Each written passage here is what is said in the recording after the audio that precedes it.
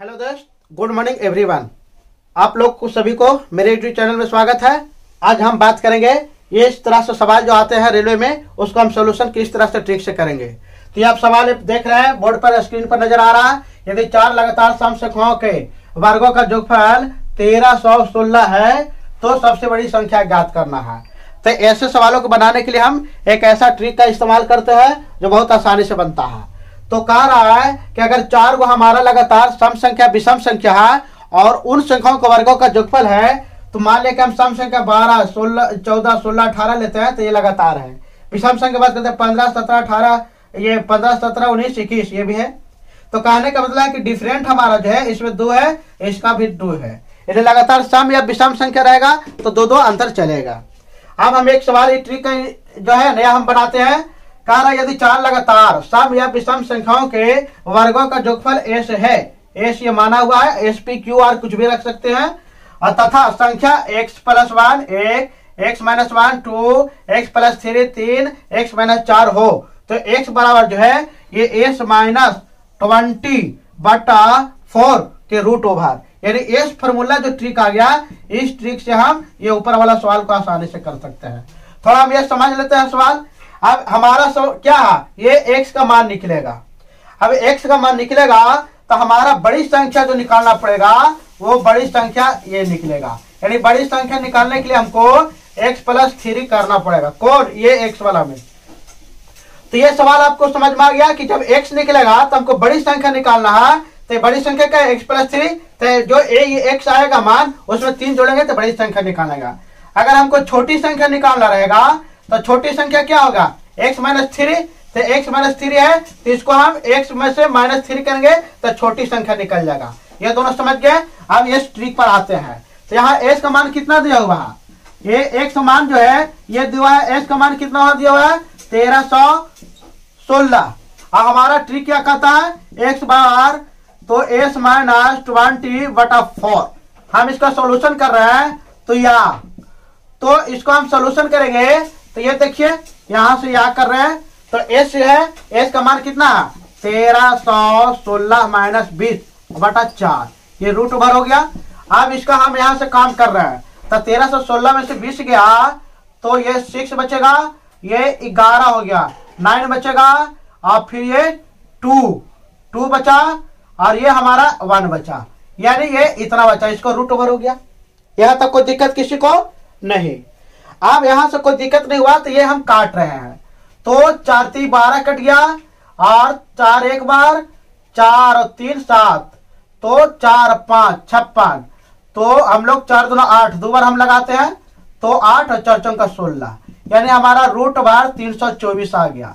और रूट बार तीन सौ चौबीस आ गया तो एक्स का मान जो आ गया हमारा, ये अठारह आ गया। यानी हमारा क्या है?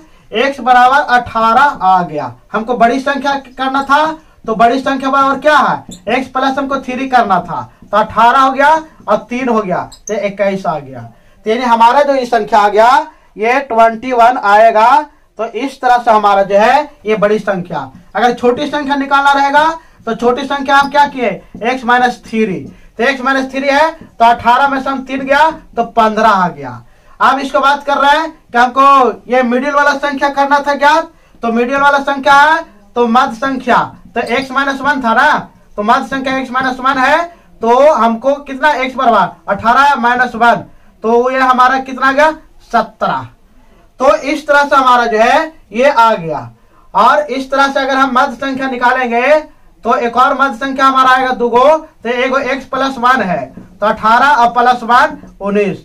अब ये बताइए कि हमारा छोटी संख्या पंद्रह और ये आ गया, ये दोनों आ गया। अब हम इसका हम चेक कर लेते हैं। तो 21 का स्क्वायर करेंगे, अब 15 का स्क्वायर 17 का स्क्वायर 19 का स्क्वायर तो तेरह सौ सोलह आता है कि नहीं, आप ये कमेंट करके बताइए। तो इस तरह से हमको पूरा बात समझ में आ गया। अब हम दूसरा सवाल देते हैं।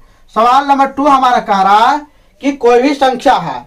अब सवाल नंबर दो हमारा कह रहा है कि यदि यदि विषम यदि चार लगातार विषम संख्याओं का, यदि चार विषम लगातार संख्या के, संख्याओं के वर्गों का जोगफल, वर्गों का जोगफल जो है, वो वर्गों का जोगफल जो दे दिया है, इकतालीस सोलह इकतालीस सोलह दे दिया है।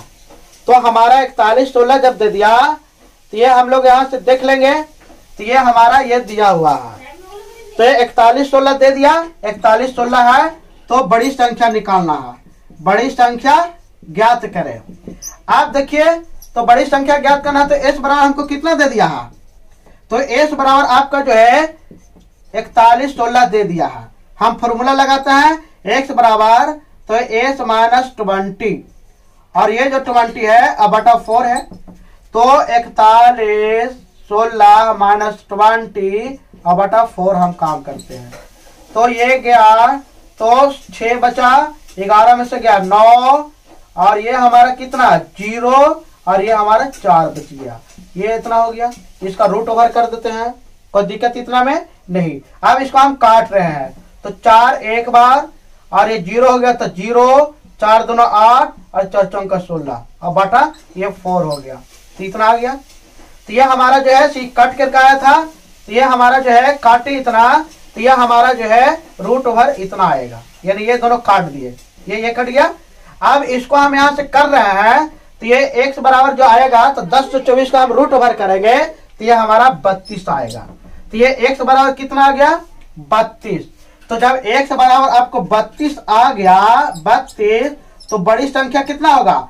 तो बड़ी संख्या हमारा जो ज्ञात करना था एक्स प्लस थ्री तो हम लोग क्या किए? बत्तीस में से तीन जोड़ दिए। तो बत्तीस, तीन, पैंतीस। और छोटी संख्या करना है तो छोटी संख्या ज्ञात करना रहेगा। तो एक्स माइनस थ्री तो हमको कितना था एक्स बराबर? बत्तीस आ गया माइनस थ्री करेंगे। तो हमारा उनतीस और तीन, बत्तीस उनतीस आ गया। तो यह हमारा उनतीस छोटी संख्या आ गया, बड़ी संख्या बत्तीस आ गया। मीडियम वाला संख्या इस तरह से निकाल लेंगे। अब एक और हम सवाल देख रहे हैं। एक और सवाल कह रहा है कि यदि कोई भी सम, चार लगातार सम संख्याओं का चार लगातार सम संख्याओं संख्याओं के वर्गों का जोगफल, वर्गों का जोगफल, वर्गों का जोगफल जो दे दिया है, चौदह सौ चौसठ दिया है। है तो बड़ी संख्या निकाले। बड़ी संख्या निकाले। देखिए, इसको कितना जल्दी हम सोल्यूशन करते हैं?